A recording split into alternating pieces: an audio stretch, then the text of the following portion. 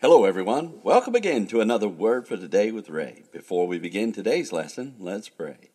Heavenly Father, once again we come to you asking you to open our eyes and ears to the things that you would have us to hear and see.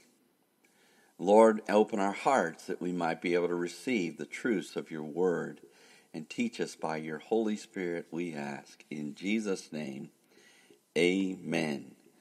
The title to today's lesson is Jonah's Prayer. It's taken from Jonah chapter 4, verse 2. When God saw the humility of the people of Nineveh, he diverted from the destruction he proposed against them. This infuriated Jonah. And in chapter 4 and verse 2 of this prophecy, we see Jonah's prayer to the Lord concerning his altered plans, where we read, And he prayed unto the Lord and said, I pray to you, O Lord. Was this not my saying when I was yet in my country? Therefore I fled before unto Tarshish, for I knew that you are a gracious God and merciful, slow to anger, and of great kindness, and you repent of the evil. The verse begins, And he prayed unto the Lord and said, I pray you, O Lord, was not this my saying when I was yet in my country?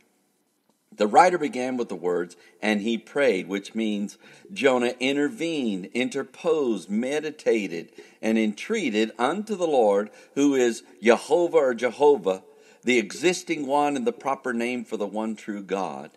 And Jonah said, or he spoke, he uttered, he answered, he promised, he intended, I pray to you, which is an interjection that means I beseech or beg you, O Lord, which refers to Jehovah or Jehovah, who's the existing one and the proper name for the one true God. Was this not my saying? or Jonah's speech, word, and utterance when I was yet in my country, which is all one Hebrew word, Adamah, and refers to the ground, land, specific plot of land, earth, substance, uh, the territory and country where Jonah resided. Jonah's plea and appeal before the Lord was that he mentioned this while he was still in his own country. The verse goes on to say, Therefore I fled before unto Tarshish, for I knew that you are a gracious God and merciful, slow to anger and of great kindness, and you repent of the evil.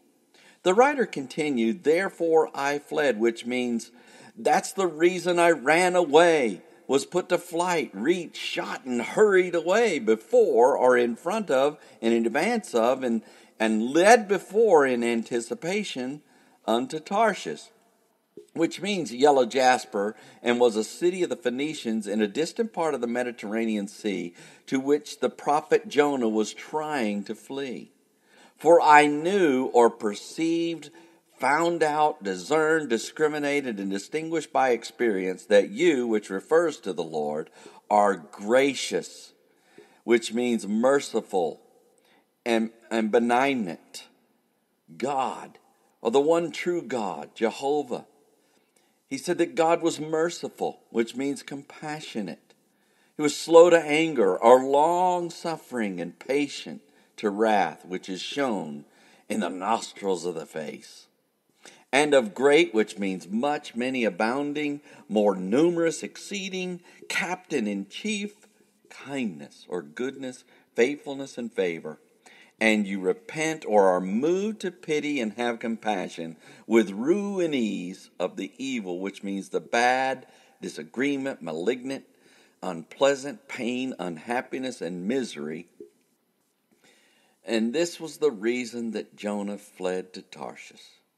Because he knew if Nineveh turned from the wickedness of their wickedness, the Lord would be moved to pity for them and not to bring the judgment upon them that he proclaimed.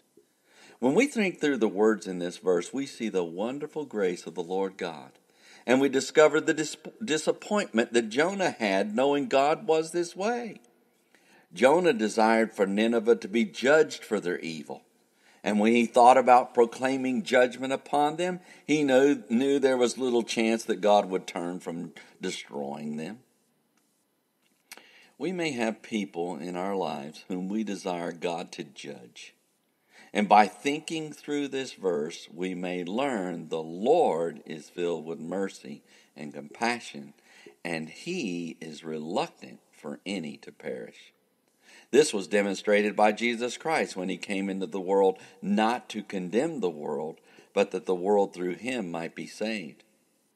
For those who will hear his voice and obey the drawing of the Holy Spirit to put their trust in him, he is not only willing to save, but ready to spare them regardless of how others feel. Next time we see Jonah beg for God to take his life. So read ahead, and we shall join together then. Until tomorrow, there is more. And may the Lord bless you and keep you. May he make his face to shine upon you and be gracious unto you. May the Lord lift up his countenance upon you and give you peace as you continue to study his word. In Jesus' name.